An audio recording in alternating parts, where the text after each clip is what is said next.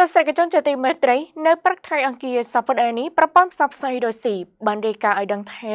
មនុស្សយ៉ាងហោចណាស់ចំនួន27នាក់បានស្លាប់និង66នាក់ទៀតបានរងរបួសនៅក្នុងហេតុការណ៍ផ្ទុះឆេះស្ថានីយ៍ប្រេងឥន្ធនៈនៅតំបន់ដាហ្គេស្ថានដែលស្ថិតនៅភាគខាងត្បូងប្រទេសរុស្ស៊ី។ ប្រព័ន្ធផ្សព្វផ្សាយរុស្ស៊ីបានរាយការណ៍នៅព្រឹកថ្ងៃអង្គារនេះថាហេតុការណ៍ឆេះស្ថានីយ៍ប្រេងឥន្ធនៈមួយកន្លែងក្នុងតំបន់ Dagestan នៅភាគខាងត្បូងប្រទេសបានបណ្ដាលឲ្យមនុស្សចំនួន27នាក់ស្លាប់ក្នុងនោះរួមមានទាំងកុមារ3នាក់ផងដែរនេះបើយោងតាមការចេញផ្សាយដោយទីភ្នាក់ងារព័ត៌មាន Interfax នៅថ្ងៃអង្គារទី15ខែសីហាឆ្នាំ